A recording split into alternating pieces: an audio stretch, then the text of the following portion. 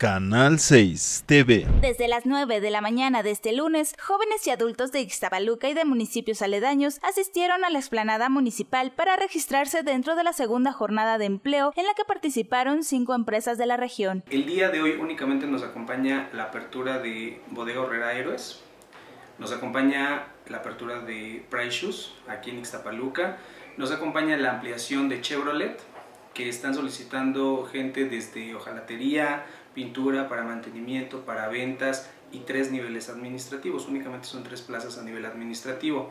Además tenemos una empresa de seguridad y una empresa de limpieza que contrata también adultos mayores. Ángel Barbosa comentó que a lo largo del año se han realizado dos ferias y dos jornadas del empleo en las que se ha logrado colocar a 460 personas por mes desde junio a septiembre, resultado que ha valido para que Ixtapaluca se le reconozca el primer lugar en colocación de empleo a nivel estatal. Y es que con la apertura de nuevas empresas dentro de la región se han incrementado los acuerdos para la contratación de buscadores de trabajo de hasta 60 años de edad o sin experiencia.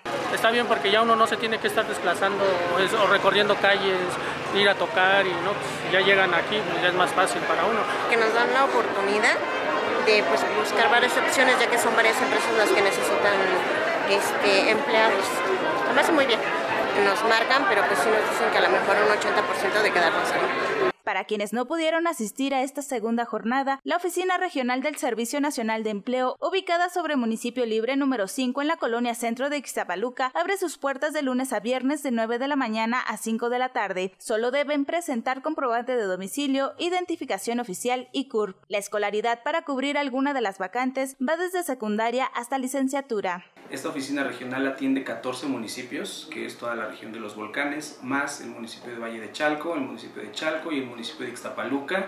Este, tenemos además del programa de bolsa de empleo, siete programas más, o sea que si vienen y, no encuentran una vacante en, en, nuestra bolsa de empleo, tenemos además vinculación, tenemos además programas, tenemos además becas laborales, tenemos este, convenios con Estados Unidos y Canadá para que se puedan ir este, a trabajar de manera legal y de manera, pues obviamente, segura, que es lo más importante. Las siguientes jornadas y ferias de empleo serán el 27 de octubre en Juchitepec, el 14 de noviembre en la Universidad Politécnica de Atlautla y para el 24 del mismo mes en la Universidad Autónoma del Estado de México. Reportó para Canal 6 Edenis Mondragón.